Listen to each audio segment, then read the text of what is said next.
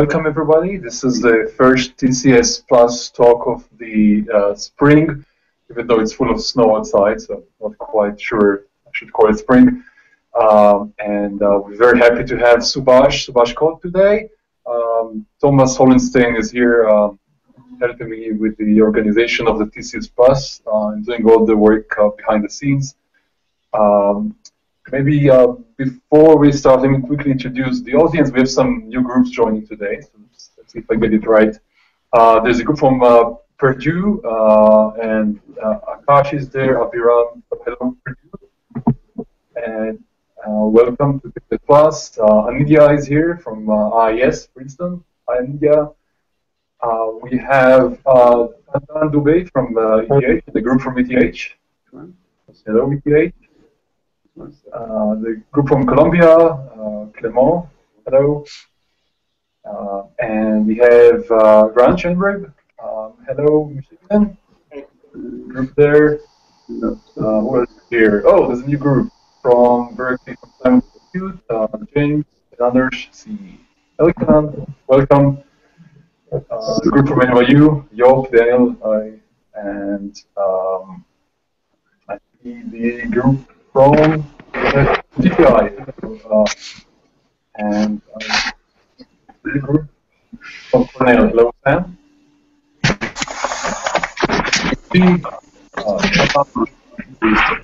and that's that's it. So um, I should um, before we start, let me just uh, say the um, the next talk will be in two weeks. It's uh, Shubhangi, Shubhangi Saraf will give a talk about locally correctable code. And let me introduce the speaker, today's speaker, unless I forgot something, Thomas?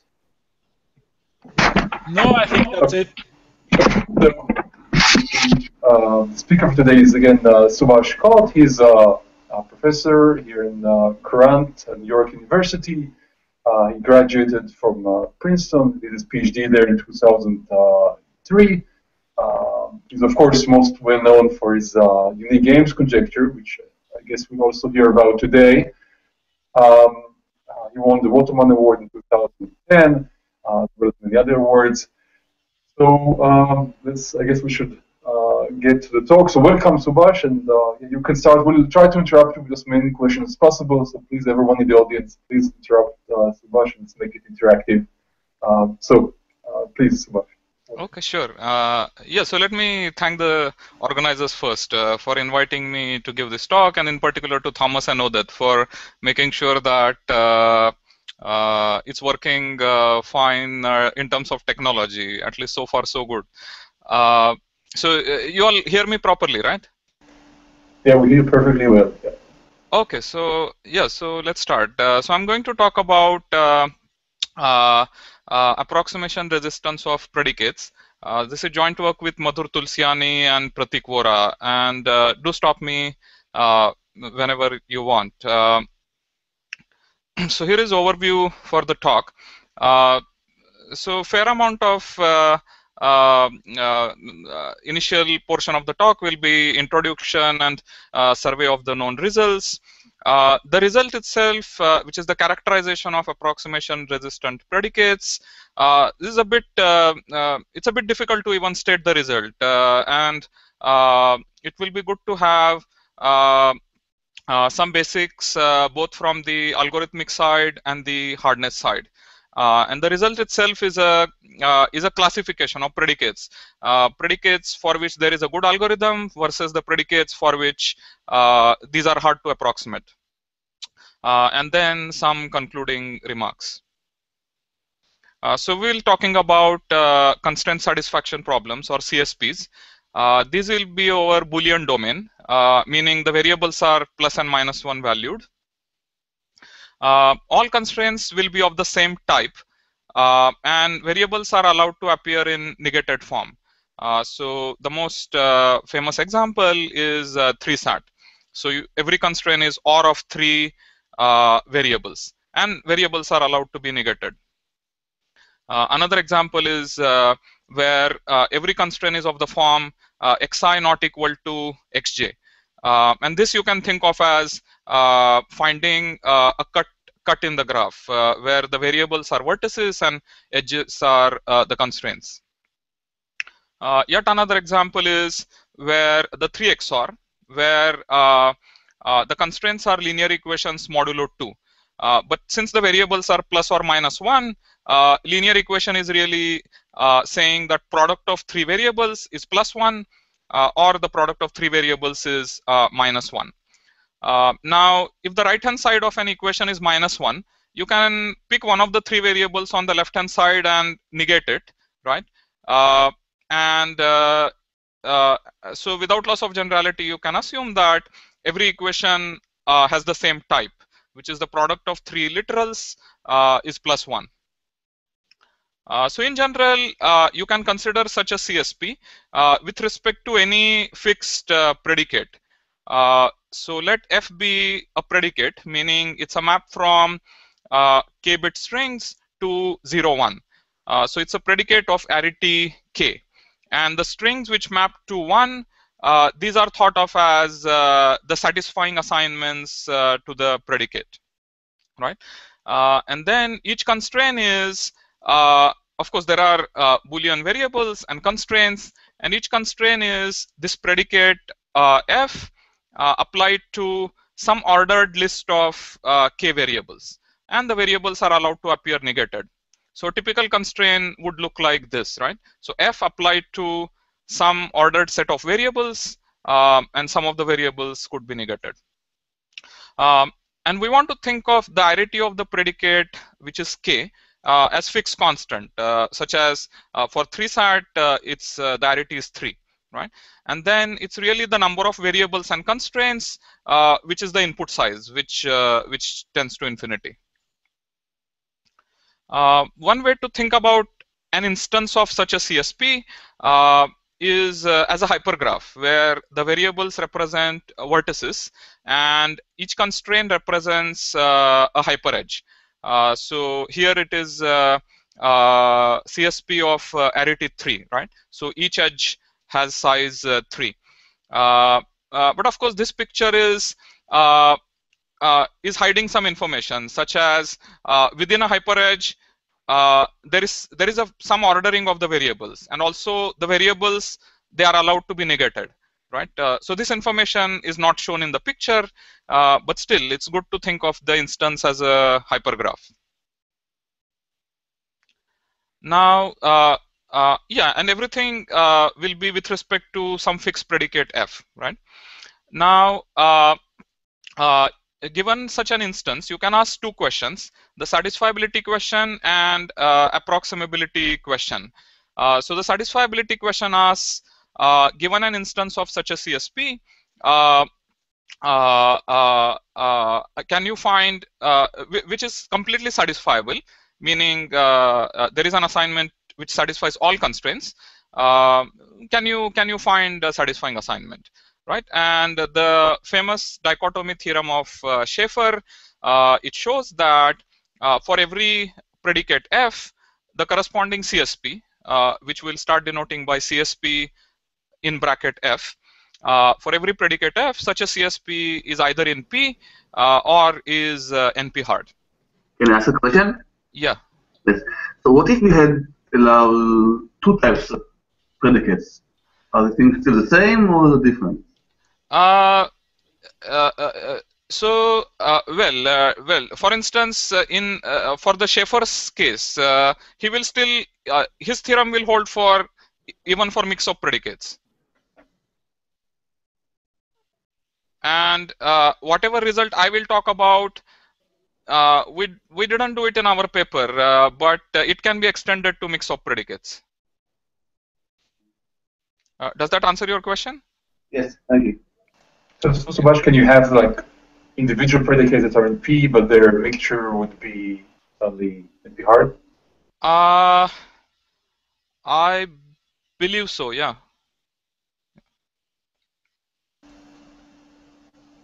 Okay, so uh, yeah, so uh, the satisfiability question, uh, well, we are going to think of as being settled, uh, uh, and it's really the approximability question that uh, we will focus on. And even this question you can study in more generality, uh, but we are going to focus on one specific scenario where you are given an instance which is almost satisfiable right? Uh, meaning there is an assignment which satisfies 99.999% of the constraints, right? Almost all the constraints. Uh, and then uh, again, the question is how good an assignment can you find efficiently?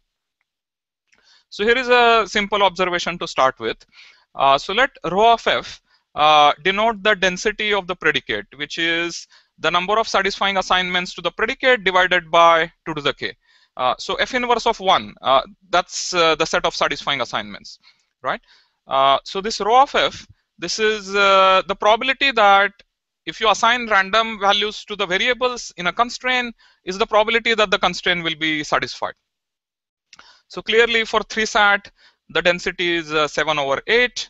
For the 3 XOR predicate, the density is 1 half.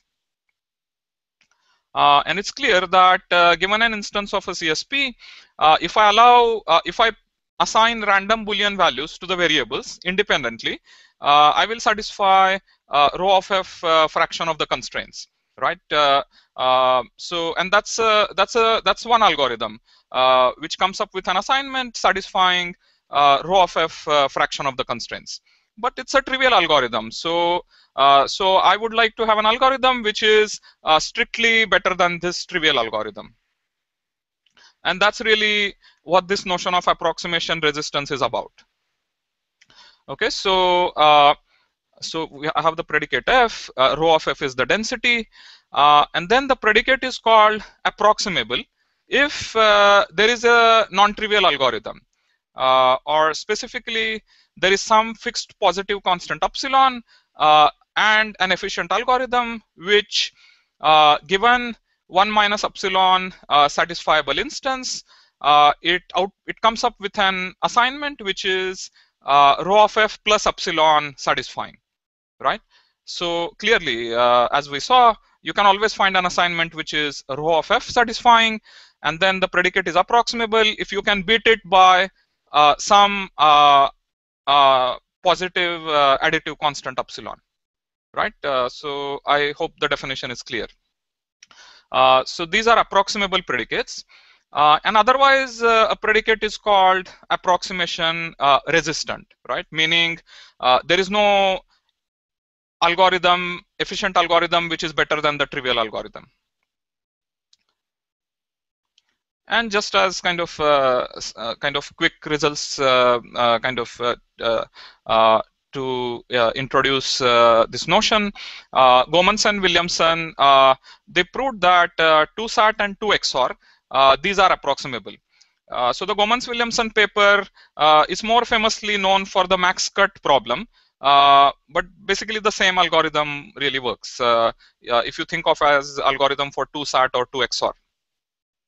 On the other hand, Hastad showed that uh, for every k greater or equal to 3, uh, ksat and kxor, uh, these are uh, approximation uh, resistant.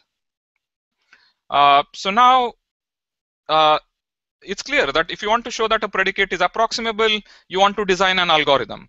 on the other hand, if you want to show that a predicate is approximation resistant, what you would like to do is to show that for every positive epsilon, uh, it is NP hard to distinguish uh, whether a given instance is 1 minus epsilon satisfiable or at most uh, rho of f plus epsilon satisfiable, right? And this for every positive epsilon, every positive constant epsilon.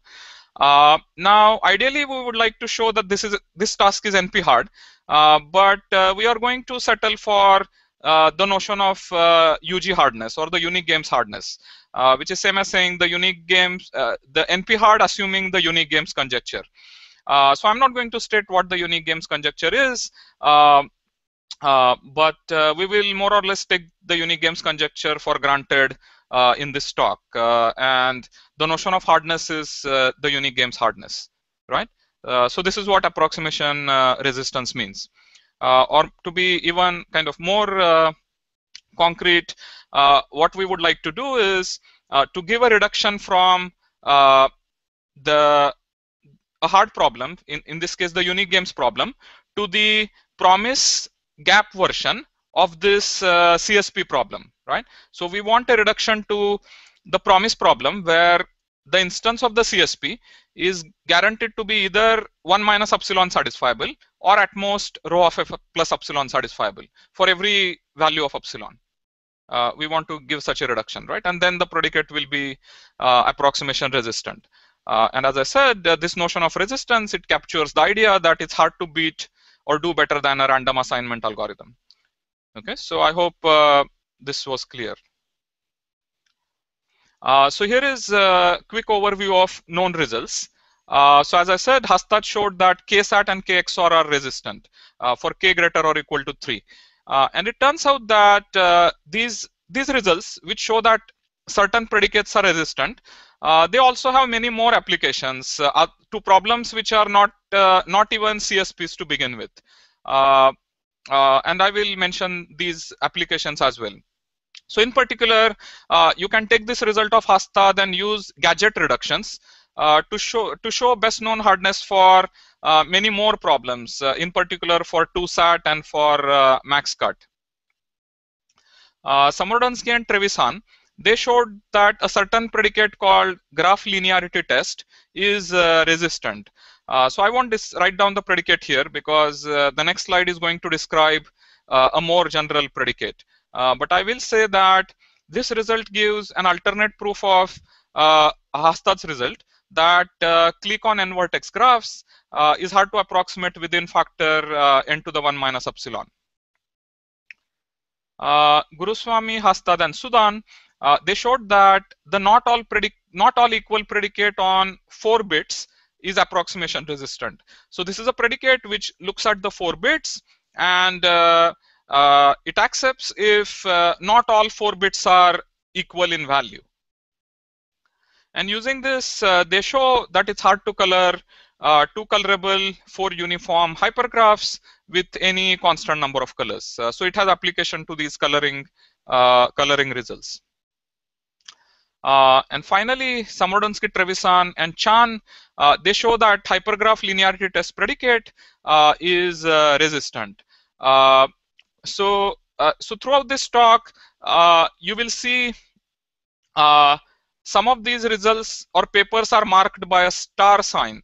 Uh, so star means it's a result based on unique games. And uh, otherwise it's an NP hardness result. So here Samorodnitsky and Trevisan proved this result under the unique games conjecture. But now Chan has uh, NP hardness result. Now well the definition of the predicate appears here, but it's a bit complicated to state. Uh, so let me just skip it and just say that it's a predicate where uh, uh, it's a predicate which is the which is kind of the most general way in which you can test whether a given function is a linear function. So it's really a predicate that arises in linearity testing. Uh, uh, so another way to think about the predicate is that uh, the satisfying assignments of the predicate are really the truth tables of the Hadamard code. Okay. Uh, uh, and what is important about this predicate is that uh, uh, uh it's a k-ary predicate with very few satisfying assignments. So it has only k plus one satisfying assignments. Okay. and the point is that even by having such few assignments, it's still approximation resistant and it has many more applications. Uh, so it gives optimal hardness for max KCSP problem. It leads to uh, saying uh, that independent set on degree D graphs for for think of D as a constant. Uh, these are hard to approximate within factor D over polylog D, uh, which is optimal up to the exponent in the polylog D factor. Uh, it leads to result saying it's hard to color k colorable graphs with uh, 2 to the k to the 1 third colors. Uh, this is a result of Huang. Uh, and finally, uh, for a very canonical useful problem called label cover with k labels, uh, it leads to hardness of 1 over square root k. yeah, so I don't want to get into these results in any detail, but I just wanted to point out that we have many more applications to non-CSP problems. Uh, and uh, uh, and actually, last almost 15, 20 years, uh, we have spent a lot of effort in showing that uh, specific predicates are uh, approximation resistant.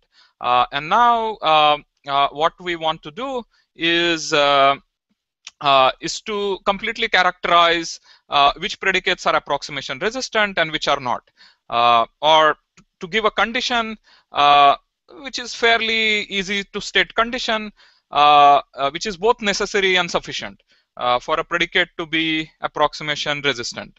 so let me give some overview of prior results. Uh, so Hastad and Zwick, they showed uh, they gave a classification uh, for predicates of arity 3. Uh, so in particular, they showed that predicate of arity 3 is resistant uh, if and only if it is implied by the 3 XOR predicate up to negating variables. Hast, he obtained a partial classification for predicates of arity 4. Uh, so out of uh, 400 such predicates, uh, he classified 79 to be resistant, 275 to be uh, not resistant, uh, and then the remaining, their status was uh, left open. So, Sebastian, what is implied? What, what, do you mean by predicate on three variables being implied by 3 XOR? Yeah, implied meaning uh, you can take 3 XOR, so it has four satisfying assignments, uh, and then you can add more assignments as satisfying arbitrarily.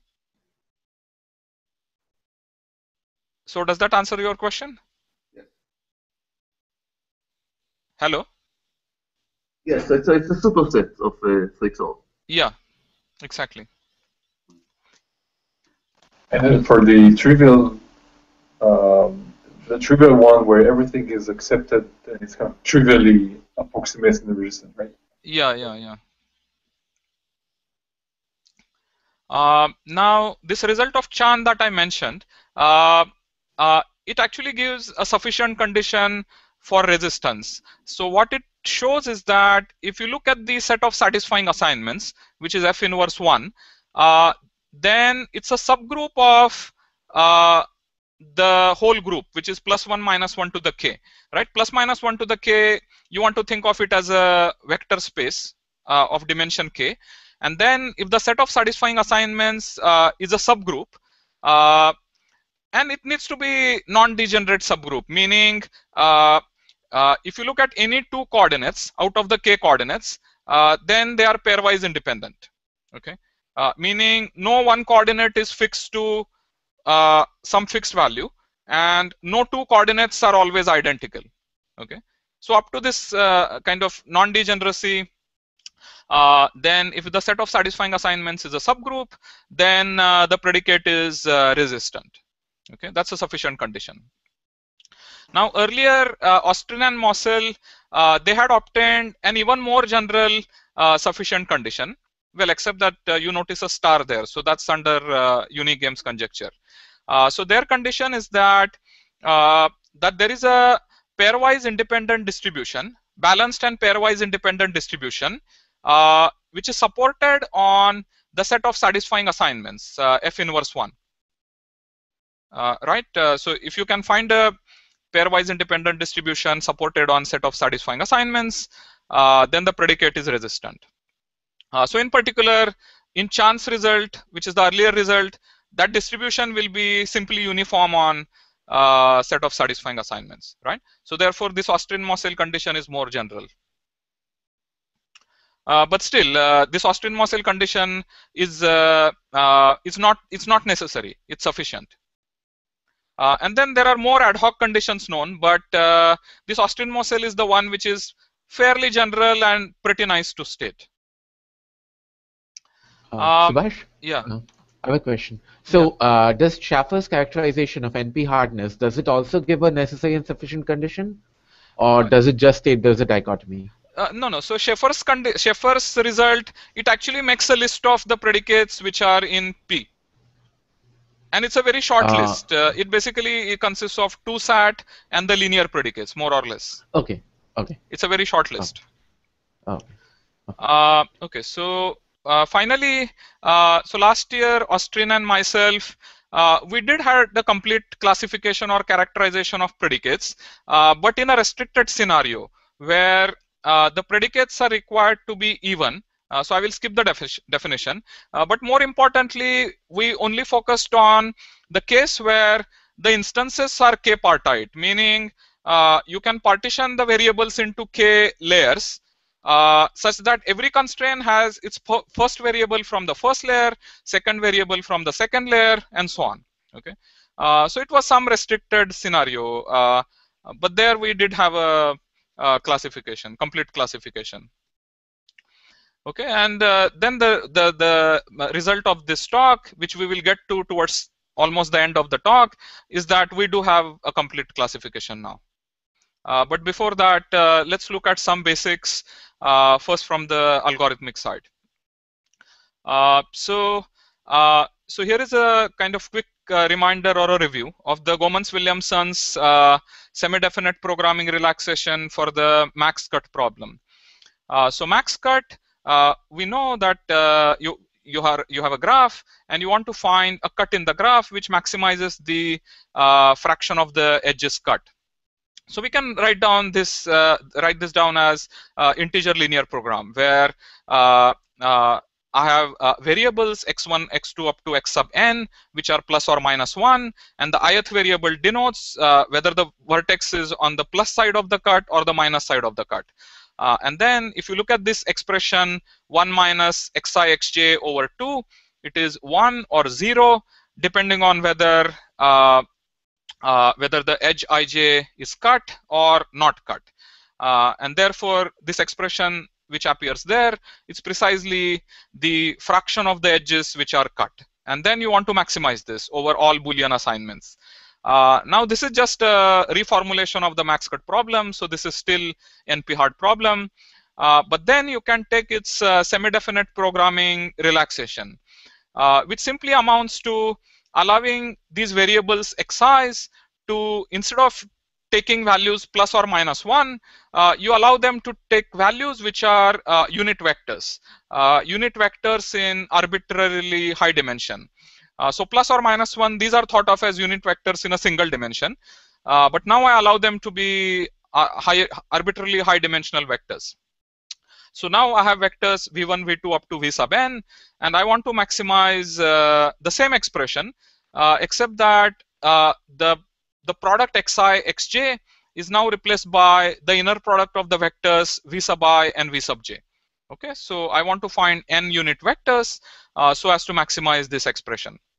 And this is a semi-definite program. Uh, it can be solved in polynomial time. Uh, and then Goemans and Williamson give uh, what is known as a rounding algorithm, which which takes these vectors and actually uh, rounds them to uh, Boolean values, uh, which gives a cut, and then they show that it's approx it is an approximately good cut in the graph. Okay, and we'll see how the rounding works. but this is what is done for the max cut. Uh, and turns out that you can write down a similar semi-definite programming relaxation for any any CSP. Okay, so uh, so just to recall, uh, we have CSPs uh, with respect to some fixed predicate uh, f, right?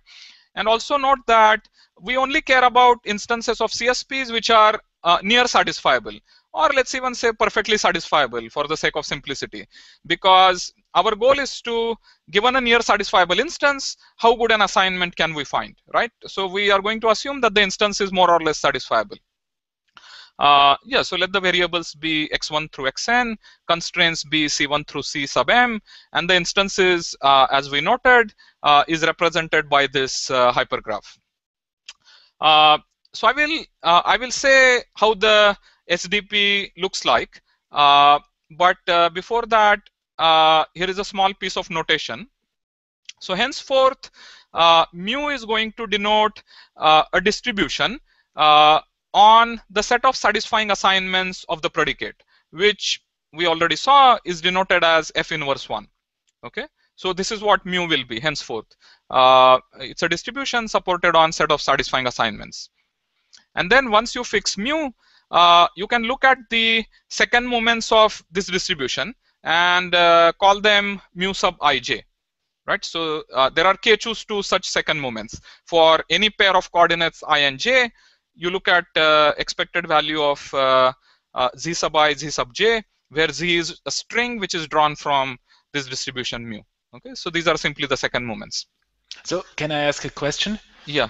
So I mean, f the the predicate in principle you can uh, apply on literals, and the literals may be negated, right? But f to the minus of one, this is just the distribution is is without any negation or something. Yeah. So uh, so the negations are usually handled by some small trick in the PCP literature, and uh, so just forget about the negations.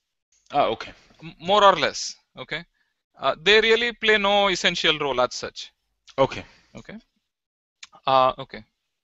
Okay, and now uh, now I am going to show uh, how the SDP looks like for uh, for a CSP such as this. Uh, now I'm not really going to write down the SDP explicitly because that's a bit uh, tedious, but I will tell you how the SDP solution looks like. it's going to be a bit more bit more general than the than the case of MaxCut. Okay, so uh, again to emphasize, mu is a distribution supported on satisfying assignments. Uh, you have the second moments, uh, um, uh and you have this uh, instance of the CSP, right? Now, uh, the SDP solution is is again going to have these unit vectors for each variable, just like max cut, right? So, for instance, the picture shows a vector called v1 corresponding to variable x1, vector v2, and vector v3 uh, corresponding to variables x2 and x3. And these are unit vectors. Now, in addition, uh, and this is unlike max cut, so in addition, uh, there is this distribution mu uh, for every constraint. So if you look at the picture, uh, it shows this distribution mu uh, for this one particular constraint on variables x1, x2, and x3, right? Uh, so this mu uh, is called uh, a local distribution. Okay, so that's a phrase I'm going to use, local distribution. Uh, so it's just a distribution on satisfying assignments. And the word local refers to the fact that it's local to that particular constraint, meaning Uh, for every constraint C, there is one such mu. Okay, and uh, this mu will change uh, uh, depending on what constraint you are looking at. Uh, but it's always a uh, distribution supported on satisfying assignments. Okay, so that makes sense. okay. and then there is a consistency between the vectors and these local distributions okay. So i have to tell you uh, what these consistency conditions are. Uh, so the mm, yeah basically the point is that uh, the second moments of these local distributions they are precisely equal to the inner product between these vectors. Okay. So in particular let's focus on this constraint which is shown in the picture. Uh, so it's a constraint on three variables x1 x2 x3 there is this local distribution mu. Uh, then uh, mu has three pairwise uh, moments, right? There is a moment between coordinate number one and two. Uh, there is a moment between, or the correlation between uh, uh, variable two and three, and there is a correlation between variable one and three. And then these pairwise correlations, uh, which are mu sub ij, they are precisely equal to the inner product uh, vi sub vj, right? so, for instance, the the the, the moment between coordinates 1 and 2, it will be equal to the inner product of vector v1 and v2. Okay, so I hope uh, this was clear. Uh, and of course, this holds for uh, every constraint. Uh, so that's what uh, the SDP solution looks like. But so is mu yeah. part of the solution or part of the uh, instance of the SDP? No, no, mu is part of the solution. So you saw you solve some you solve some SDP relaxation, and this is what the SDP relaxation outputs as a solution. Mu is different for each constraint. And mu is different for different constraints. Yes. Uh, that's why it is called that's why it is called local.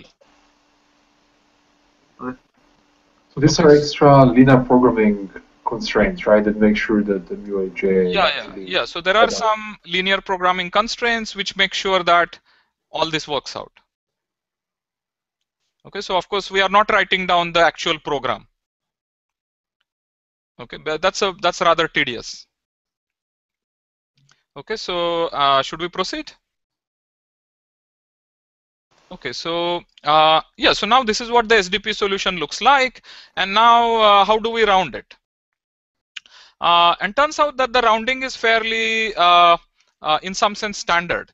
Uh, so, so if you know how the max cut is rounded, uh, it basically amounts to projecting vectors on a single dimension, which is the line, and then uh, uh, the line has a positive part and the negative part, the real line. And if the vector falls on the projection falls on the positive side you round the variable as plus one. If it falls on the negative side you round it as minus one right? Uh, which is which is same as the hyperplane rounding that you might be more familiar with okay so that's that's what happens in the case of max cut. And now we do something rather similar. Uh, we have these uh, vectors uh, right? Uh, v1 up to vn. Uh, we randomly project them down on some subspace uh, let's say d-dimensional subspace R to the d. And you want to think of d as a constant, but might be a large constant, maybe 100 let's say okay? Right? So you project the uh, vectors on a random d-dimensional subspace. Uh, and let's say the vector v sub i it gets mapped to vector y sub i in this projected space. Uh, and now you decide a priori upon a certain partition of the space uh, r to the d right? In the case of max cut it is the partition of the line on the positive axis and the negative axis uh, but in general you can decide upon arbitrary partition of the space uh, r to the d okay? So this will be represented by a function called rounding function uh, psi. So psi is a function on r to the d which is plus or minus one valued right? And then uh, simply depending on where this projection uh, fail, whether on the positive side or the negative side of the partition, you round the variable to either plus one or minus one. Okay, so that's what the rounding is. Uh, so just to kind of again emphasize, xi is the original variable, vi is the SDP vector, uh, yi is its projection on random d-dimensional subspace, and then you finally round it to the value psi of yi, right, which is now a Boolean value. And this is how the rounding works. Uh, now, uh, now, now this is one potential algorithm, right? And one potential rounding method. Uh, and actually, it turns out that, uh, uh, in fact, this is the most general algorithm, uh, which is which is quite which is quite a striking result. And this is a result of Raghavendra, who showed that as far as CSPs are concerned, uh, this is the most general algorithm in the sense that uh, uh, uh Uh, uh, modulo the unique games conjecture, uh, uh, there is always an algorithm of this kind which achieves the optimal optimal performance or optimal approximation ratio.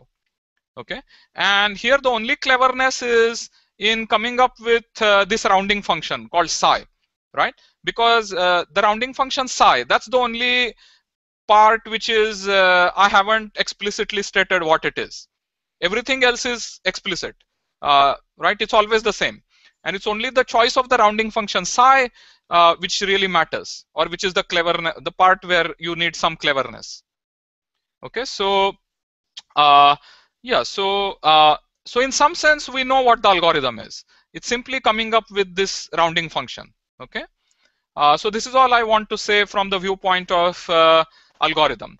Now we move to the viewpoint. Yeah.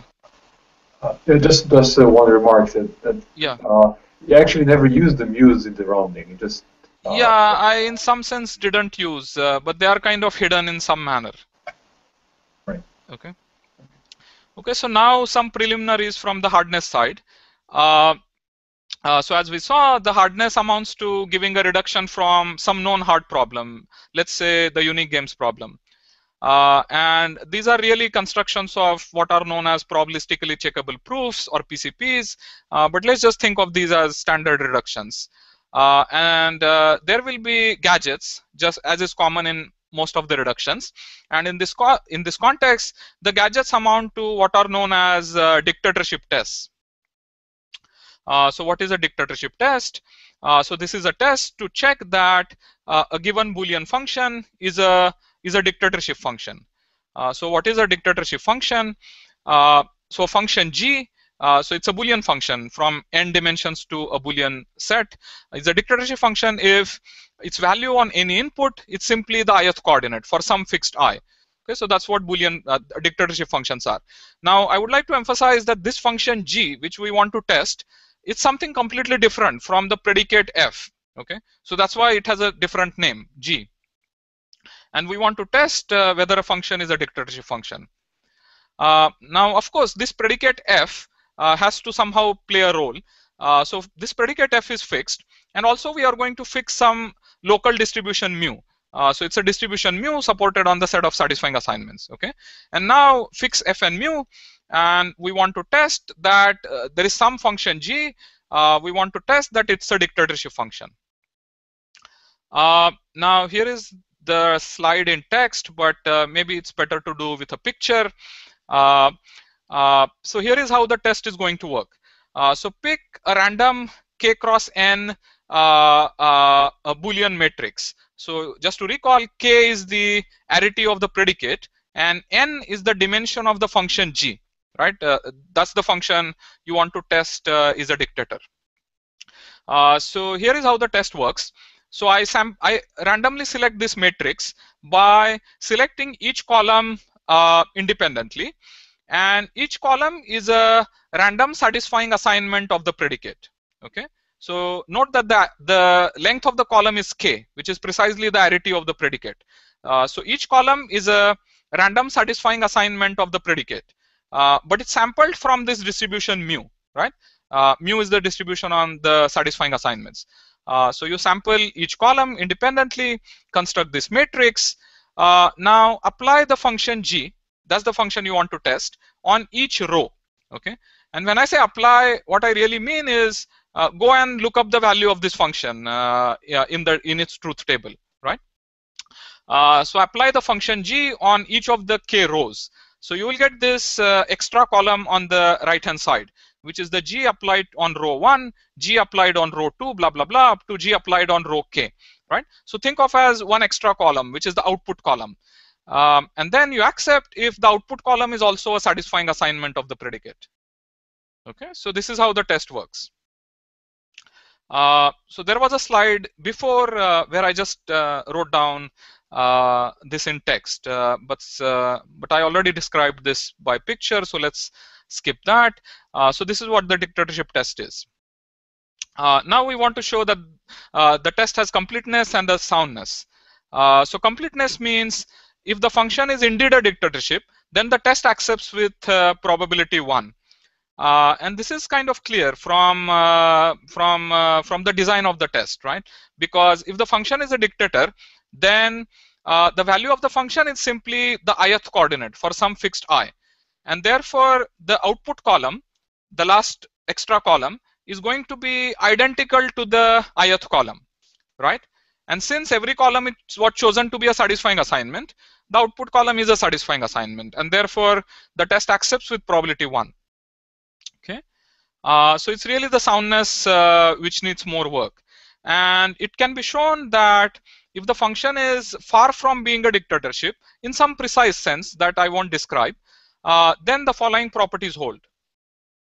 Firstly, uh, that the acceptance probability of the test, uh, it depends only on the second moments of the distribution mu. Okay, so just to recall, the test is with respect to some the fixed predicate f and fixed uh, uh, local distribution mu. Okay, and even though uh, well, mu is a distribution, so it has higher moments also.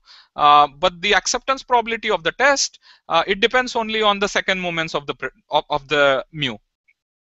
that's important. Uh, and then it turns out that depending on what the predicate is, uh, it's possible to choose mu appropriately so that the test accepts with probability at most uh, rho of f plus uh, little o1. Uh, and rho of f uh, is thought of as some sort of trivial acceptance probability. Uh, even a random function will be accepted with probability rho of f. Okay, uh, so sometimes it's possible to design a test like this whose acceptance probability is upper bounded by essentially rho of f, which is the density of the predicate and uh, you can make the test bit more general by uh, choosing mu itself from from some prior uh, distribution, right? So you first sample mu and then uh, run the whole test uh, with respect to mu, okay? Uh, and then you can uh, look at the acceptance, overall acceptance probability.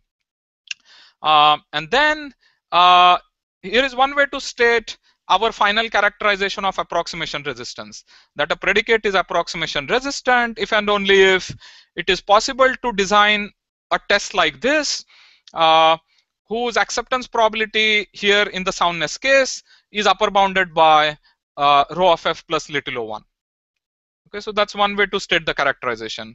Uh, but then finally we are going to state it in a somewhat different uh, language. Uh, but just to give some uh, some head start uh, and these uh, this this proving this properties requires the the uh, very nice invariance principle.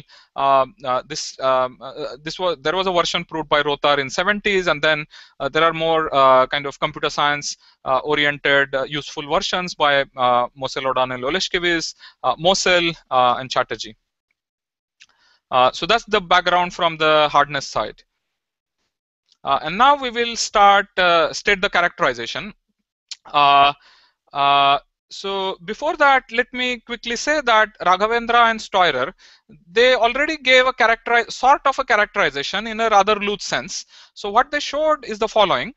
Uh, so Raghavendra showed that the notion of unique games hardness is equivalent to the notion of uh, integrality gap. Uh, and therefore, a predicate is resistant if and only if uh, for every epsilon, there exists uh, 1 minus epsilon versus rho of f plus epsilon integrality gap instance. Uh, so if you're not familiar with integrality gaps, uh, you, you can ignore this uh, slide.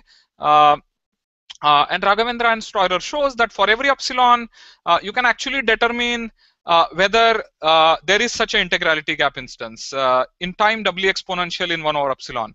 Uh, and this is more or less by brute force search over all CSP instances of uh, certain size, of size uh, which is exponential in 1 over epsilon. Uh, and then uh, for every epsilon, in decreasingly small values of epsilon, uh, you can keep checking whether there are these integrality gap instances. And that gives recursively enumerable condition to check whether predicate is approximation resistant. Uh, but then uh, this is, uh, I mean, yeah, I wouldn't really call this as a characterization of resistance. In particular, it doesn't tell me what are the proper intrinsic properties of the predicate, uh, which leads to these gap instances or approximation resistance. Uh, uh, because the search is really brute force. and for instance, it doesn't tell whether the predicate is hard because of some intrinsic properties of the predicate or maybe because of some sort of external properties such as uh, maybe the predicate is hard because the CSP instances when viewed as hypergraphs uh, that hypergraphs are expanders right? Who knows? Maybe is the structure of the hypergraphs that matters.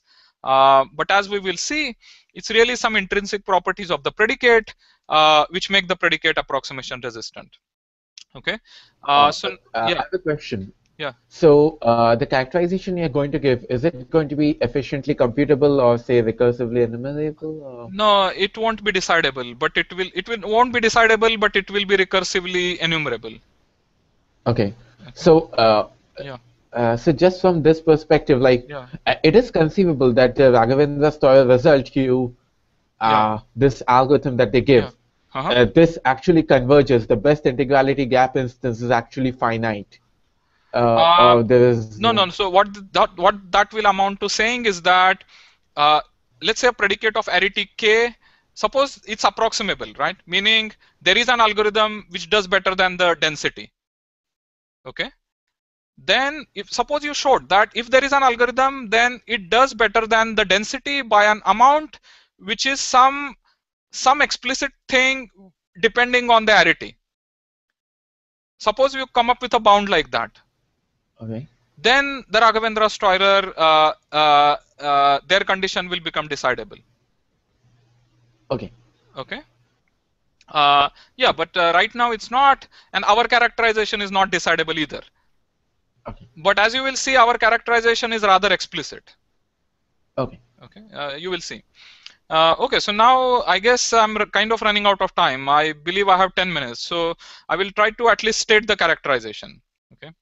Okay, uh, because this whole online thing is, uh, uh I tried to be very slow so that I'm audible and so on and so forth. Uh, so uh, okay. You should feel free to take some some more time. Yeah. Okay, uh, but I guess in 10 minutes I will at least be able to state the characterization. Uh, so let's start. Uh, so here is another bit of notation. So as I said, mu is the uh, local distribution, right? Uh, uh, supported on satisfying assignments. Now let let us denote by zeta of mu the vector of first and second moments of mu right? So it's a vector of dimension k plus k choose 2, the k first moments and k choose 2 second moments. Uh, now, it turns out that also the, the first moments are also important. Uh, though before I tried to pretend as if uh, only the second moments are important. Uh, but both first and second moments are important. Uh, okay, so let zeta of mu denote this vector of first and second moments. Uh, and let C of f denote the convex polytope defined as follows. So for any mu supported on the set of satisfying assignments of the predicate, uh, let zeta of mu be this vector of first and second moments, uh, and let uh, C of f be the uh, be the be the body which is set of all such vectors zeta of mu. Okay.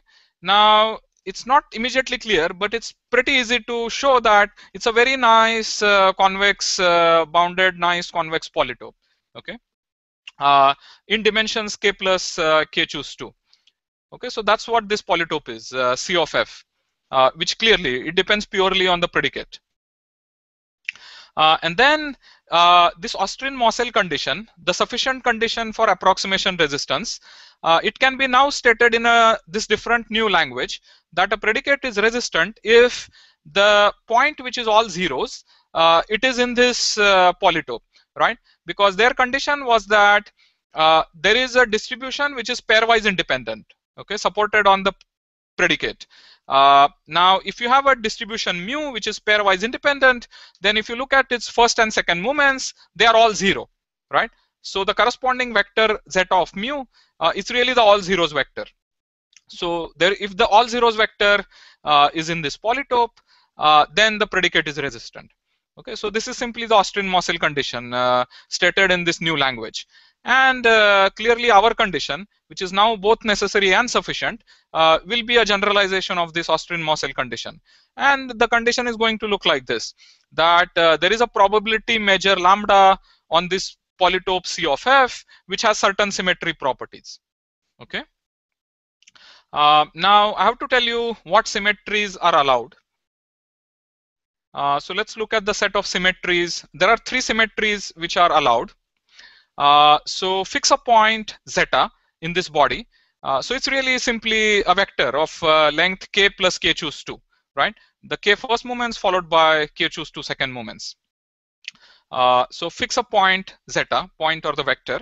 And now you are allowed to transform this vector in three ways. Firstly, you can arbitrarily permute the underlying k variables, right? Uh, so you permute the k variables. Uh, so this will lead to corresponding permutation of the first moments, and uh, it will induce permutation on the pairs also, right? So the second moments uh, they will also get permuted. Okay. Uh, so if you have a permutation pi, uh, you get this new vector, right? by permuting the second, first and second moments.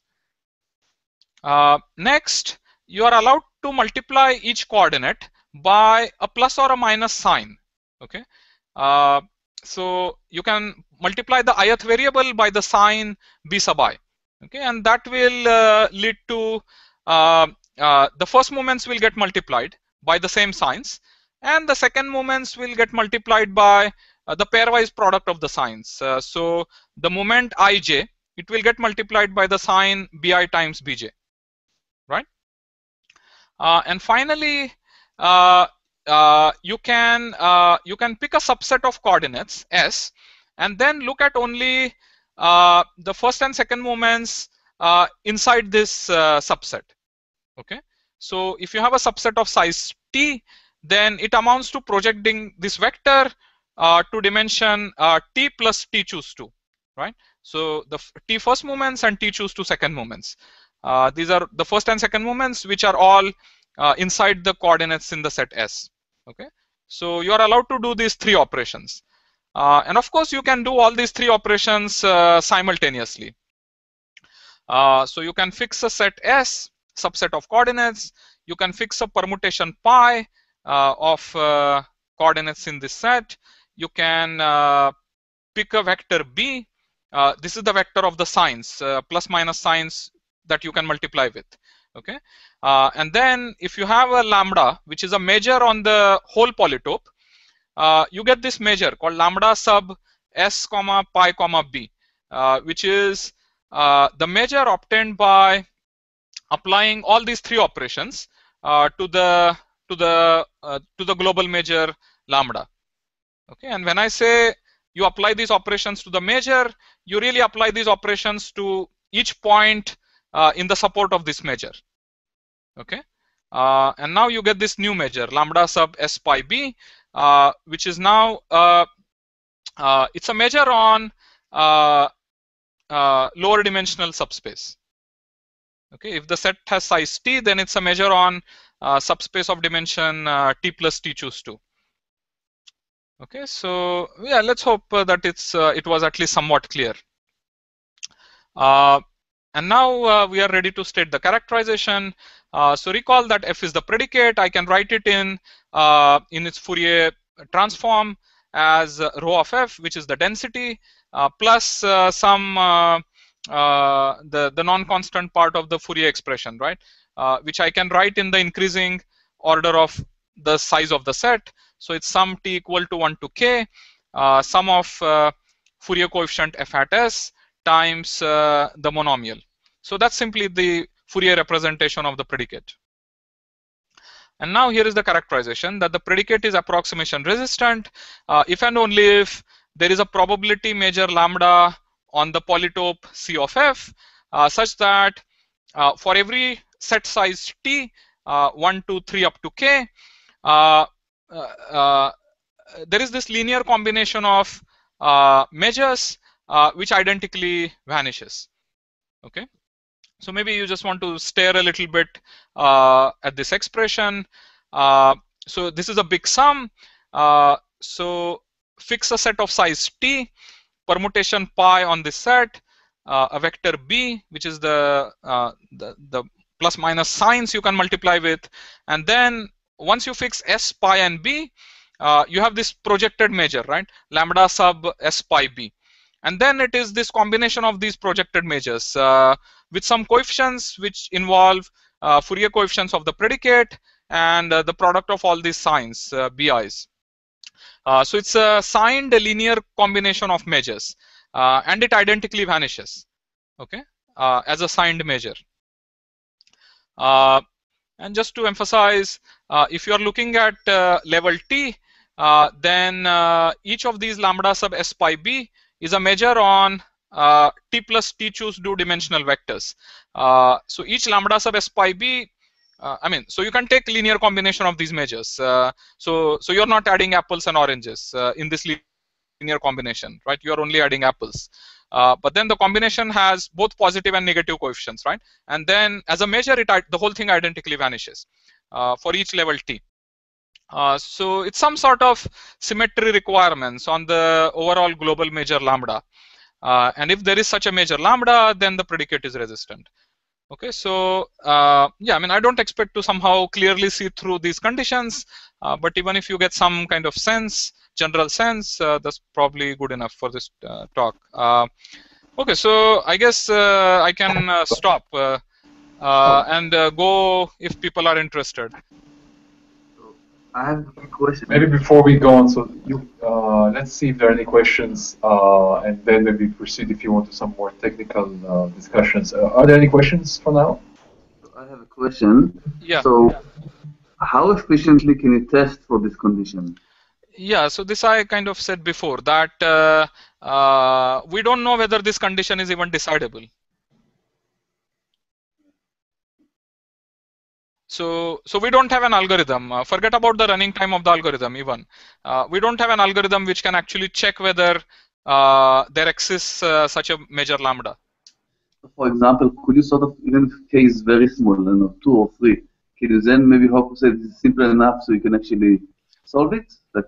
Even Uh, yeah, so we were we were not so interested in kind of for some specific things uh, uh, because even that will maybe require writing some sort of program which uh, uh, we were not uh, brave enough to do so.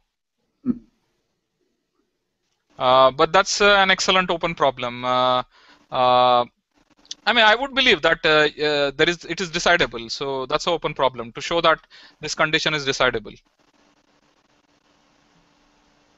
Yeah. Yeah. Any more questions? Any, any more questions? Okay, I see. I see David there.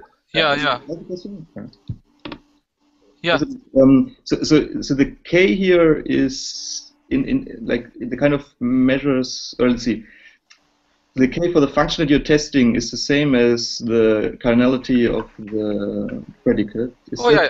K, K is the arity of the predicate. So if you are lo looking at some predicate of arity, let's say five, Mhm. uh, then it's a at least uh, it appears to be a very simple problem. You have some polytope in some 20, 25 dimensions, and you are and some set of five conditions. Uh, yeah. Because I'm wondering, does it mean that uh, the rounding function only has to, uh, you only have to project into five dimensions if you care about predicate? Yeah, yeah, so, yeah. So actually, our our whole proof actually gives the following result: that if it's a predicate predicate of arity k, then the rounding function needs to be only of uh, dimension. The projection only needs to be on dimension k plus one. I see. That's very nice. Yeah. So the, our result gives that. Yeah. Now, and could you hope that this measure is sort of uh, smooth in some way? Or Uh, yeah. W- w- we don't know anything. So just to add a small comment, uh, can Yeah. you hear me? Yeah. Shakar's question. So, like previous results, the measure was just a single point, right? Uh, all zero, for example, in uh, Austrin-Mossel. And uh, if its if its uh, measure is finitely supported, then all these conditions just become a system of linear equations on the probability on the entries uh, which describe the measure, and then you can test everything. But uh, so, I mean, in fact, we would hope to prove something like if you want decidability, we would hope to prove that the measure can only always be finitely supported, and then it would not be smooth. In fact, necessarily not so, but um, it would in fact be very concentrated on a few points.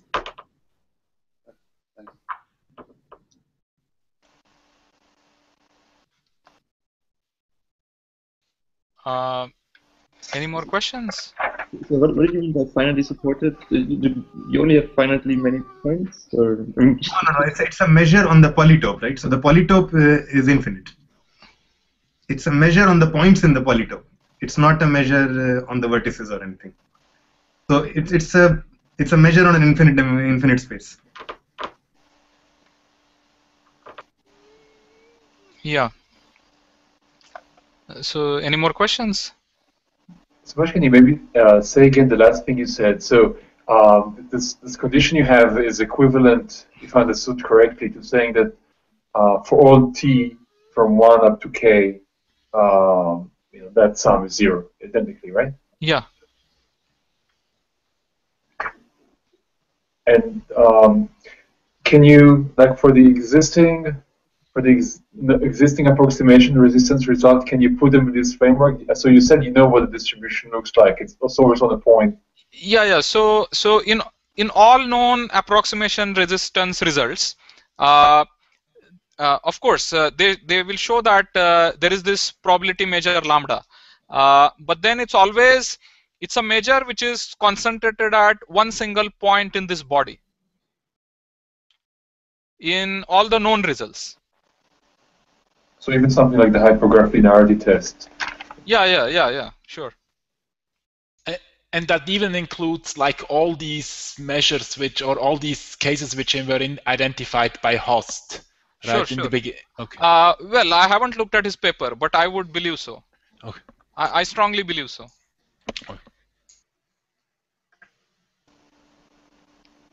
Okay. Any more questions?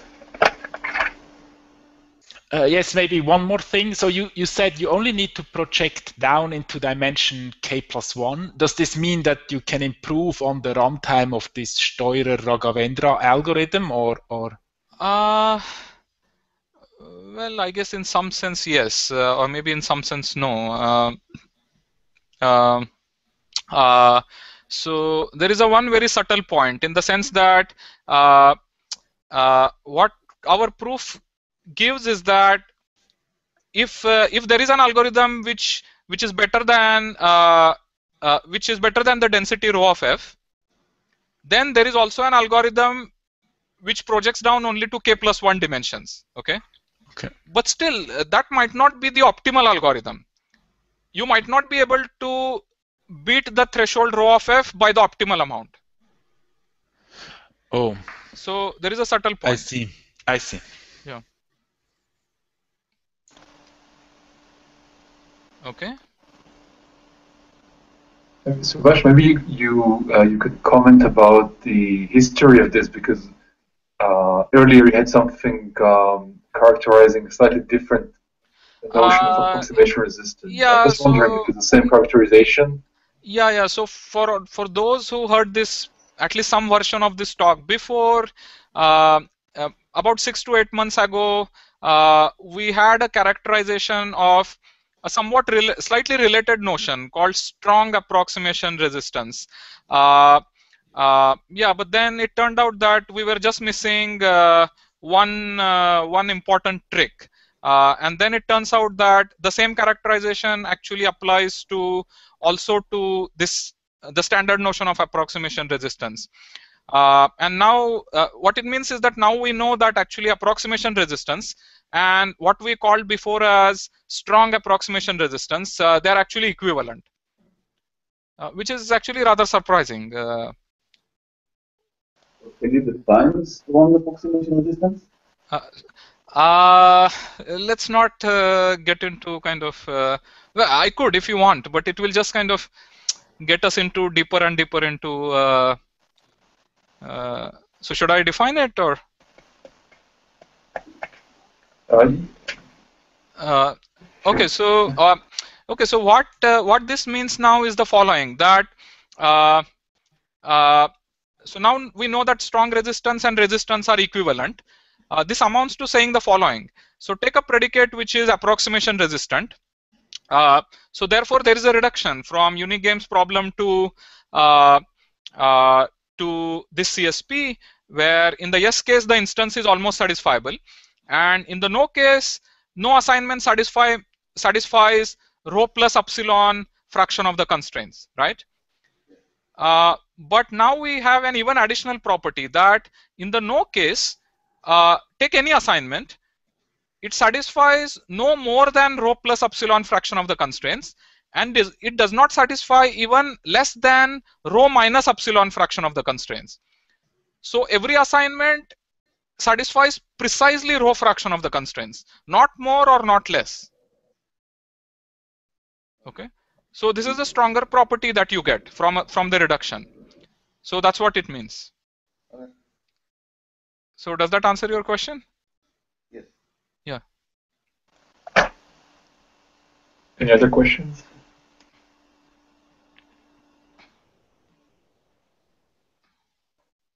So we can, uh, you know, we can do whatever the speaker decides to do. We can continue, or whatever the audience wants, we can continue with some more details. Or Subhash, what, what do you feel like doing now? Uh, well, I could maybe in maybe seven eight minutes I could just show maybe three more slides and at least give some some at some level idea of what we did. Uh, and of course, I mean people are uh, welcome to leave, but yeah. Uh, so should we proceed or? That sounds good. Unless there are some other questions about the definition before we proceed. Uh, so okay, so let's proceed. Uh, so uh, uh, so this is the high level uh, structure of the proof. So let's even say that somehow I pulled this characterization out of a hat, right? And now I want to show that if if this measure lambda, let's call it vanishing measure. So we want to show that if such vanishing measure lambda exists, then uh, the predicate is hard, right? That you can show approximation resistance. Uh, and actually, at, at least conceptually, that part is uh, not so difficult. Uh, it's uh, user standard PCP ideas. On the other hand, we would like to show that if no such measure lambda exists, then uh, you get an algorithm. Okay. but in fact, we don't know how to how to show this, and we do it rather in indirect fashion. Uh, so what we do is we define a certain uh, two-prover uh, zero-sum game between hardness player and algorithms player. so this game has a value which is non-negative. and then if the value of the game is strictly positive, we show that uh, you get uh, uh, an algorithm. on the other hand, if the value, that part is straightforward. And if the value is zero, then we show that it leads to, by some somewhat complicated sequence of uh, uh, steps to existence of this vanishing measure lambda. and then that leads to the hardness result, as I said before. Uh, so that's kind of the overall uh, picture. Uh, and it's a good open problem to show that if there is no measure lambda, to show directly that there is an algorithm. So that we leave as open. So that's the high level plan. so what's this two-player game. Uh, so this is a play, the game between the hardness player and the algorithms player. Uh, so just to recall, look at the lower part of the slide. Uh, so it shows this CSP instance as the hypergraph. Uh, and the instance, the, as we said, the SDP solution has these local distributions, right? So there is this distribution mu for some constraint, uh, mu prime for some other constraint, mu double prime for yet another constraint, and so on and so forth, right? And for each of these mu's, we have this vector called zeta of mu, uh, which is the vector of uh, first and second moments, right? Uh, so look at these vectors, zeta of mu, zeta of mu prime, zeta of mu double prime, and so on. Uh, and these are the points in this polytope, uh, C of f, right? Now, if you have m constraints in the CSP, you have these m points in this polytope C of f. Uh, now take the uniform measure on these m points and call it lambda. Okay. So now lambda is this measure on the polytope, uh, which which is really capturing uh, what the instance is, CSP instances, right? Uh, now we seem to be forgetting a lot of information about the CSP, in particular the hypergraph structure of the CSP. Okay, but uh, rather surprisingly, it turns out to be fine. Uh, you just look at this measure lambda, uh, and think of it as the instance of the CSP. Okay, and that's what is going to be the strategy of the hardness player in this game. So strategy of the hardness player is lambda, which is some measure uh, on the body C of f. Okay, uh, so this is not necessarily the vanishing measure that we will be ultimately looking for. Uh, so that will come eventually. Uh, but right now it's some arbitrary measure on the polytope C of f, and that's what the strategy of the hardness player. Now for the algorithms player, we noted that the algorithm really corresponds to picking this rounding function called psi, right? Uh, uh, the function on r to the d.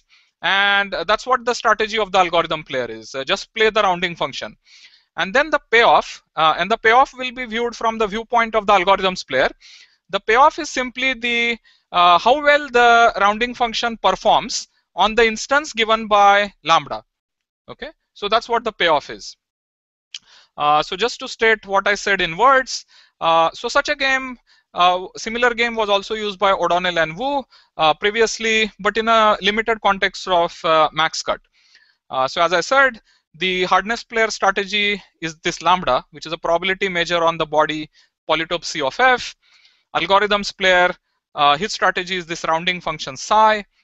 and then the payoff is simply look at the fraction of the constraints satisfied by this rounding psi, uh, right, uh, uh, on the instance lambda, and you subtract this rho of f, which is in some sense the trivial quantity, right? So you look at the advantage over the uh, the trivial threshold rho of f, and that's what the payoff function is, okay?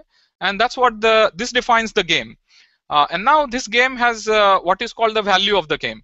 Uh, and uh, it turns out that the value is non-negative. Uh, so it's either strictly positive or it is identically zero. Now let's look at the case where the value is strictly positive. Now if the value is strictly positive, it basically amounts to saying that the algorithms player has a strategy which irrespective of what the hardness player strategy is meaning irrespective of what the instance is uh, it the algorithm has performance which is at least equal to this value right which is positive. Uh, so positive advantage over the threshold rho of f okay?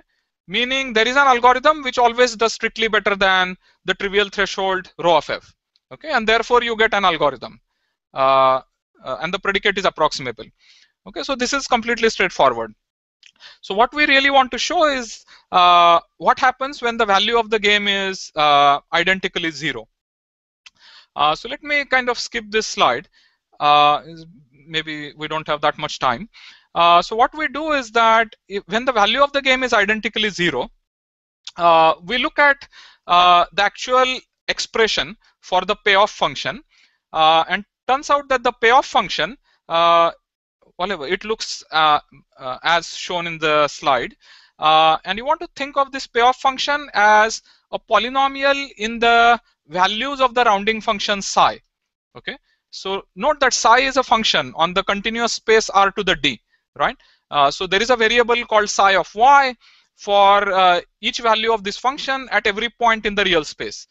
Uh, right? So it's a polynomial. Uh, it's a polynomial in uncountable number of variables.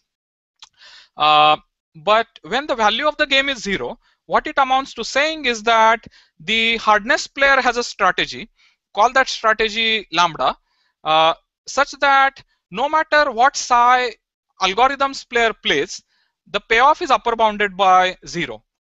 Okay.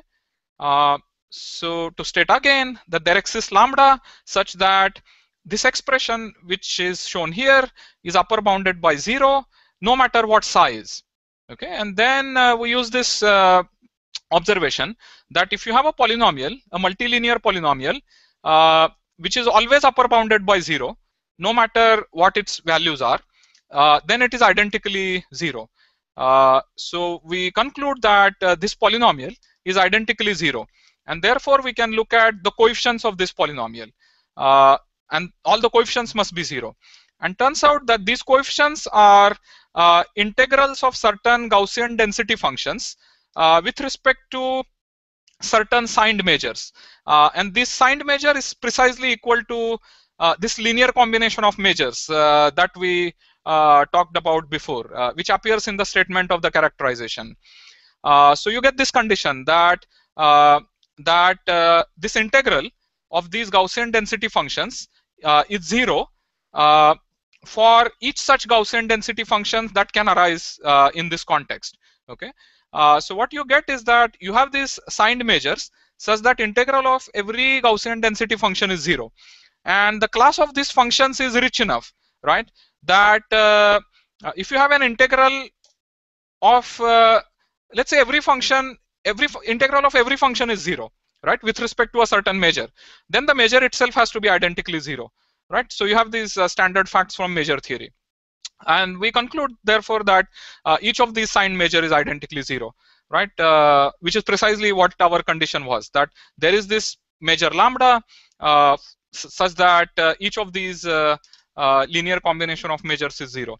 Uh, and but of course this requires a fair amount of work, uh, Uh, jumping through lots of hoops and so on and so forth.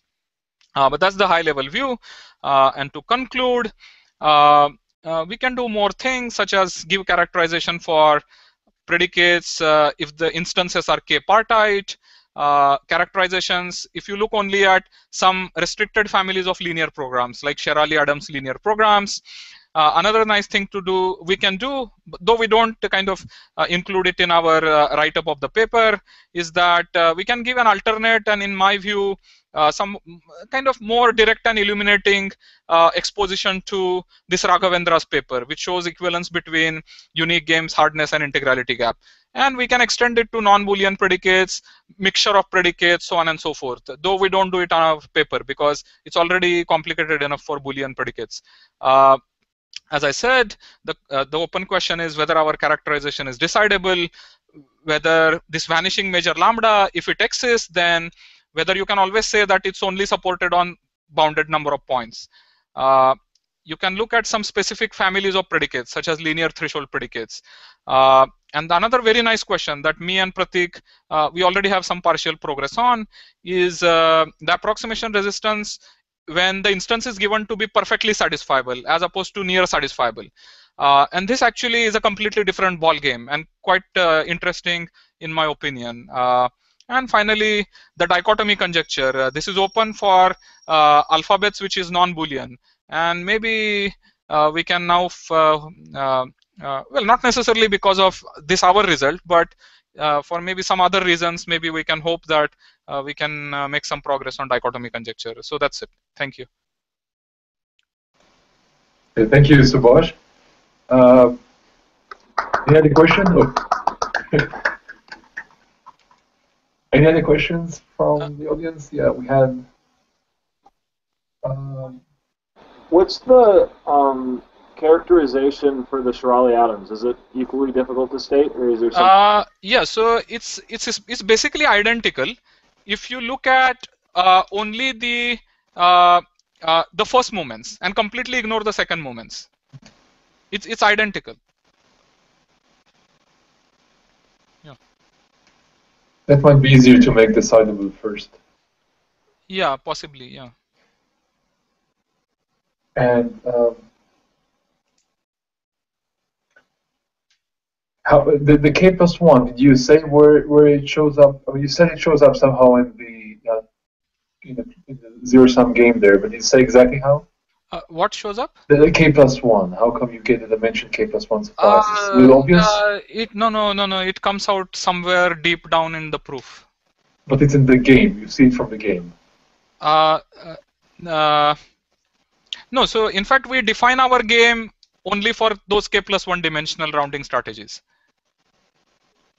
Uh, and then throughout the in the proof at some point we realize that that is enough. So, I see. I see. Oh, probably enough for these Gaussian measures to uh, from them to conclude that the measure is identical yeah. to zero. Yeah. Okay. Any other questions? So uh, we can still stay here. Uh, uh, soon stop the uh, YouTube broadcast. I should just uh, thank uh, all of you here. I should also thank the we had about 10 viewers on YouTube. So I don't know who you are, but thanks for joining us there. if you have any comments, both those on YouTube and those that are watching us here inside, send me an email. and I should also thank the speaker for bearing with us. We had lots of technical trouble uh, yesterday. Uh, sure. Uh, yeah, actually, as a technologically essentially illiterate person, I find this as a miracle that uh, it seemed to have gone through. Yeah, it actually went, I think, the, uh, one of the smoothest we had so far. It's probably mainly thanks to Thomas Sorensen, who was here in the background is doing all the magic. Uh, so it really went, uh, this technologically, I think it went quite smoothly. It's the first time I think we don't have any crashes in in the middle of Google Hangout. So, thanks again, everyone. Uh, if there are no other questions, I'll go uh, turn off the broadcast, but you're welcome to stay here and uh, bother Subhash with more questions. Okay, good night. And in two weeks, Shubhangi will give a TCS Plus talk.